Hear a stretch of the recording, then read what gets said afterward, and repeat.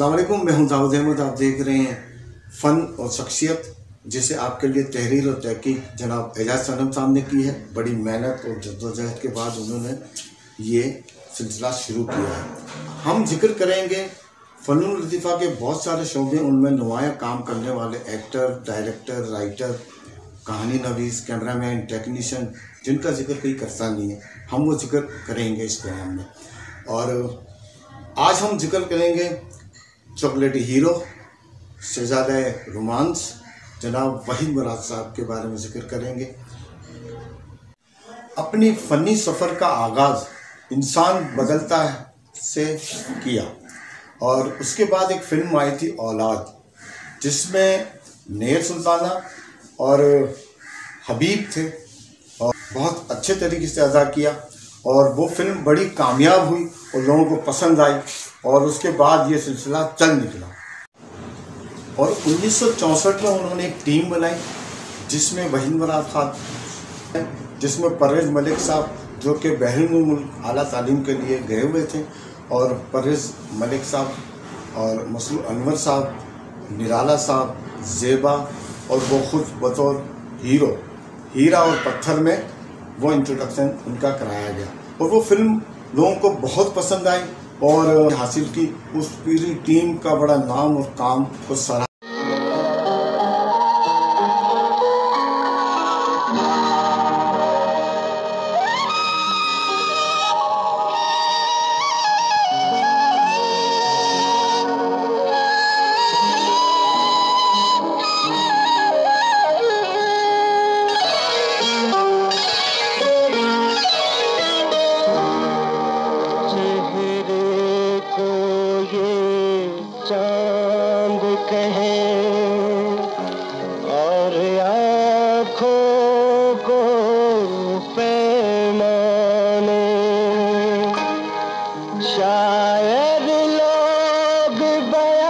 करते हैं। सब झूठे अफसाने।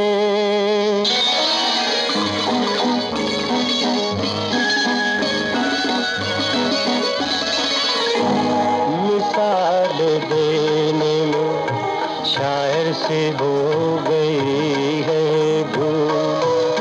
मिसाल देने में शायर से हो गई है भूल कहाँ जनाब की सूरत, कहाँ गुलाब का फूल।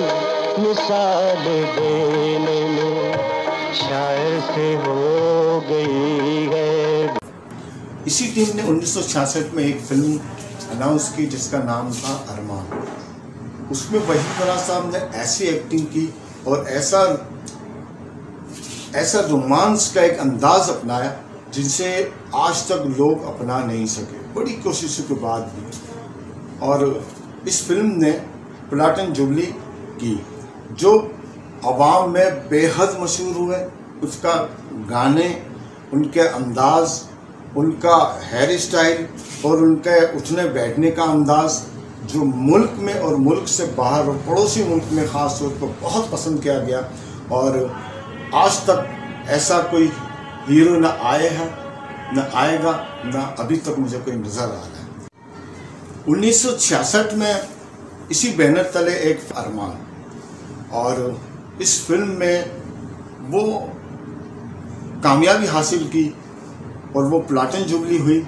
और इस, उसके बोलने का अंदाज़, उनके हेयर स्टाइल उनके चलने का अंदाज़ और किसी ज़माने में आपने देखा होगा, बुद्ध की तरह हीरो खड़े होते थे और स्टील और बिल्कुल रेबोट बन के काम करते थे, लेकिन उन्होंने एक स्टाइल दिया और उन्होंने एक अंदाज दिया कि किस तरह हीरो बोलता है, किस तरह रोमांस करना चाहिए और किस तरीके से वो उछल कूद और वो वो मनाजर और इस तरह के फिल्माना शायद इंडिया और पाकिस्तान में न पहले कोई था न आज कोई है न मुझे आगे कोई नज़र आ रहा है।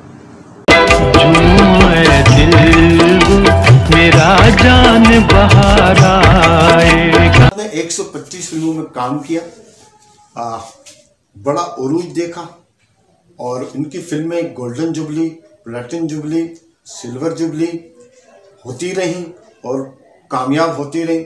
और इस दौरान सफ़े अव्वल की हीरो ने उनके साथ काम करना, मुझे नहीं पता किस वजह से या क्या हुआ। उन्होंने काम करने से इनकार किया। लेकिन फिर भी उनकी शोहरत में कोई कमी नहीं आई और वो कामयाब से कामयाब फ़िल्में करते रहे। लेकिन उनका काम और नाम सबसे अलग नज़र आता था, मुनफरद नज़र आता था। और मैं समझता हूँ कि जो फ़िल्म देखने वाले लोग हैं, वो भी इस बात के गवाह हैं कि उन्होंने वहीम राज जैसा हीरो ना पाकिस्तान में देखा कोई, ना पड़ोसी मुल्क हिंदुस्तान में देखा। और वो अदाकार तो बहुत हैं, लेकिन हीरो कोई नहीं है। हीरो सिर्फ़ एक ही था, वो है वहीम मुराद पानी से दिया जल सकता है पर तुझको भुलाना मुश्किल है।